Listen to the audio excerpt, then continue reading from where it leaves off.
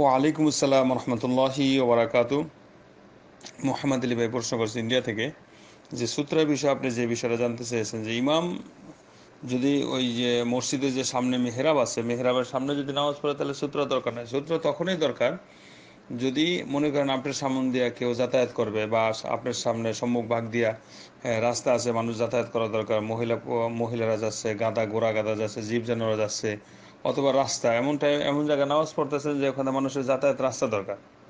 সেখানে মানুষ যাতায়াত করবে। তখন আপনার সূত্র এই জন্য দরকার যে সূত্রের বাহির দিয়া মানুষ যাতায়াত করবে। এমনিভাবে আপনি মনে করেন নামাজ পড়বেন, আপনার সামন দিয়া সম্মুখ ভাগ দিয়া বা সামনে দিয়ে মানুষ যাতায়াতের সম্ভাবনা আছে। যেমন অনেকে পিছনে এসে নামাজ পড়ে বা রাস্তার মধ্যে নামাজ পড়ে, মানুষ এখানে যাইতে হবে, তখন সূত্রাটা প্রয়োজন। আর ইমাম যদি সূত্রা থাকে, ইমামের ইমামের যদি সূত্রা থাকে তবে মুসল্লিদের সূত্রা যথেষ্ট হয়। ইমাম তো সামনে, মেহরাবের সামনে নামাজ পড়ে ওখান দিয়ে তো দেওয়াল ঘেরা আছে। যদিও পিছিয়ে সরে যায়, তাহলে সমস্যা নেই। এমনিভাবে দেখুন, অনেক মসজিদগুলিতে দেখা যায় যে দিন, যে জুমা নামাজের সময় মানুষ পরিপূর্ণ হয়, কিন্তু অক্তিয়া নামাজে তখন মানুষ কম হয়। অক্তিয়া নামাজগুলিতে মানুষ কম হয়।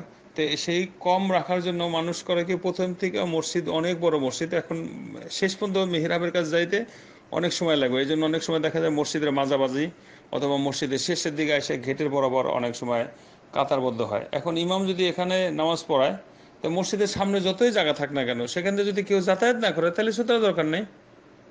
আর যদি মানুষের সেখান থেকে যাতায়াতের প্রয়োজন হয়, তখন সুতার দেবে।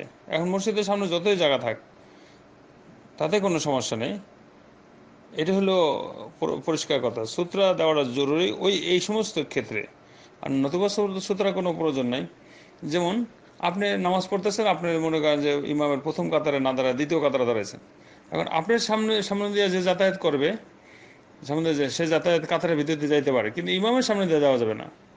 এমনিভাবে আপনার সামনে তো একটা দল আছে, এখানে সূত্র আপনার দেওয়া দরকার নাই।